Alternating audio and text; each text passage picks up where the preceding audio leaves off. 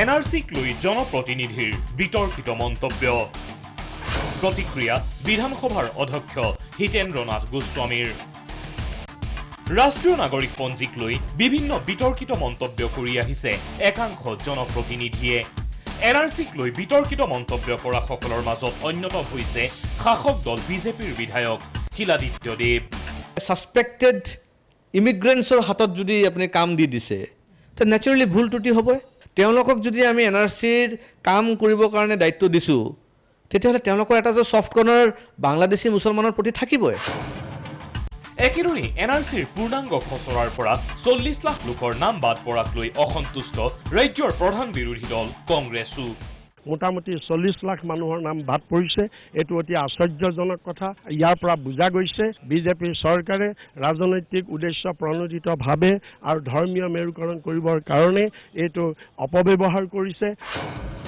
N R চিৰ পূৰ্ণাংগ খচৰা প্ৰকাশৰ পিছত এনেদৰে একাংশ জনপ্ৰতিনিধিয়ে কৰা বিতৰ্কিত মন্তব্য সন্দৰ্ভত অৱশেষত মুখ খুলিলে বিধানসভাৰ অধ্যক্ষ হিতেন্দ্ৰ নাথ গোস্বামীয়ে।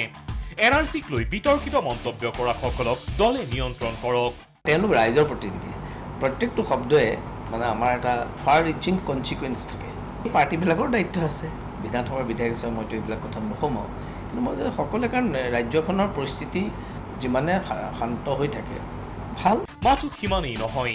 এন আৰ চিক লৈ এনেদৰে বিতৰ্কিত মন্তব্য কৰা জনপ্ৰতিনিধিক ভগৱানে সুমতি দিয়ক বুলিও ক'লে বিধানসভাৰ অধ্যক্ষই। মই ভগৱানৰ ওচৰত প্ৰাৰ্থনা কৰিছোঁ শুভ বুদ্ধি যাতে সকলোৰে উদয় হয় বিশেষকৈ এম এল এসকলৰ। অধ্যক্ষ গোস্বামীৰ আহ্বান। পৰিস্থিতি অশান্ত কৰিব পৰা মন্তব্যৰ পৰা বিৰত থাকক জনপ্ৰতিনিধি।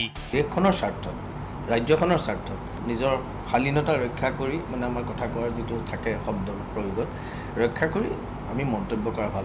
এন আৰ চিক লৈ জনপ্ৰতিনিধিসকলে কৰা বিতৰ্কিত মন্তব্য সন্দৰ্ভত বিধানসভাৰ অধ্যক্ষজনৰ এনে প্ৰতিক্ৰিয়া নিশ্চিতভাৱে তাৎপৰ্যপূৰ্ণ হিচাপে বিবেচিত হৈছে। কিন্তু প্ৰশ্ন উঠিছে বিধানসভাৰ অধ্যক্ষৰ এই আহ্বানৰ প্ৰতি সঁহাৰি জনাবনে ৰাজনৈতিক দলসমূহে নে পৰৱৰ্তী সময়তো পৰিস্থিতি অশান্ত কৰিব পৰা মন্তব্য আগবঢ়াই যাব জনপ্ৰতিনিধিসকলে।